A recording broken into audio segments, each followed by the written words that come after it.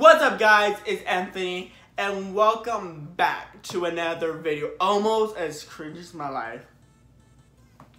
So, I don't know if we're gonna do, I don't know if I'm gonna bring it back the intro. I thought I might try it out for today, so don't know if she's staying or leaving, but today I want to do my story time that I've been waiting to do for a long time of when I almost switched from the iPhone X to an 8 or just a different iPhone. I didn't care what it was, but I just wanted to switch to a different one. So I have the iPhone X, but I had so much fucking issues with this phone. Like, typically it was my fault, but I was like literally almost done. So, take a little journey today. We're gonna go a little road trip. So for today, I wanted to show you to explain the story a little bit more. I want to show you my bathroom to where this happened. Now, this looks like a vlog. Just want to show you inside motion. Now, this is my mom's bathroom, but this is why like I normally take showers. So guys, I mostly take showers and that thing right there. Now, right here is where I put my phone down to listen to my music. Depending if I have my Bluetooth on, my headphones, like, I don't know if it's just me, but I love listening to music in the shower. So it might be just me. But, of course, the iPhone X is not waterproof. I don't think so for not a very long time. But,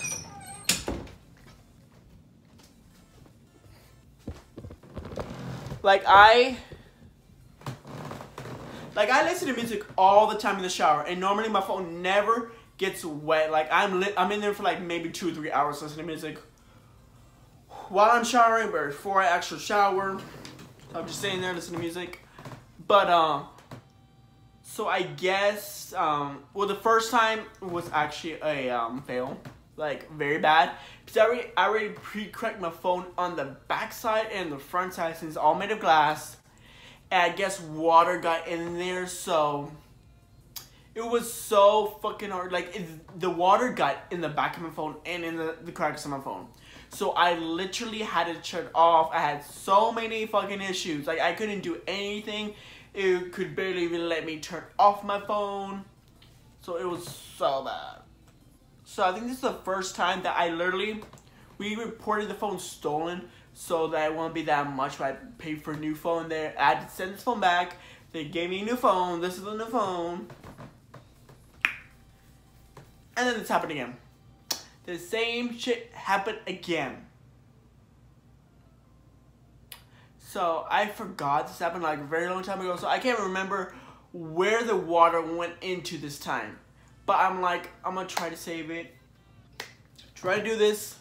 So I literally got rice and I've been there for for a whole day, hoping it'll work. It didn't even work. It did not even fucking work. And it was so hard because I was like, this happened twice. So I was like two days without my phone. It was so hard. with Really on social media, going on YouTube, listening to music, anything.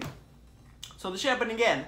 So with this time we had to go to our people for this, which I think it was like Sprint. So they told that they they, they can fix the phone, but like $109. That would be cheaper to go to Apple. So we literally went the same day to La Cantera to fix this issue. Now he said we have about $50 deductible to fix it. We were there for a couple of minutes. We left, and my dad had to go to work then in a couple of minutes, so we left and left it there. But then when we came back to to pick up the phone, it was specifically supposed to be fixed, and it wasn't. It was a hundred dollars deductible. I'm like, are you serious? I could have done this as Sprint, paying just extra nine dollars, but no.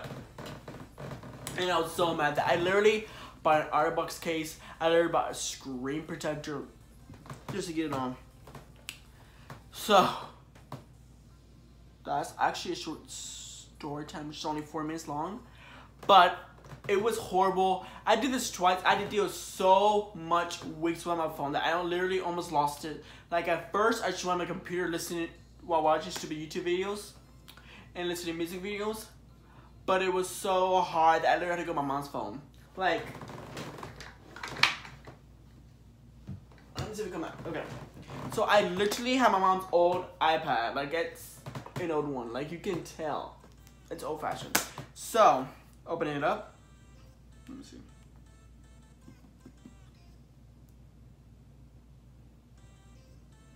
Where is it? Guess I deleted it. But I had my Instagram on there. So I was trying to go on there. It was so hard. I literally on my computer and this thing.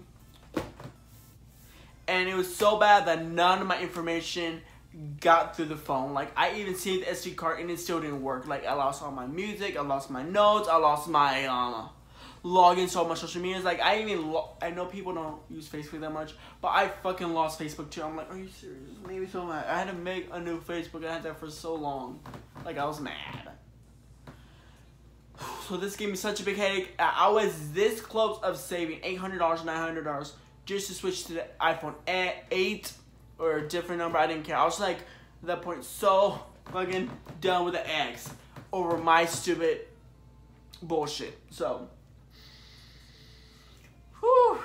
I just got frustrated thinking about that again. So, I hoped you enjoy this story time.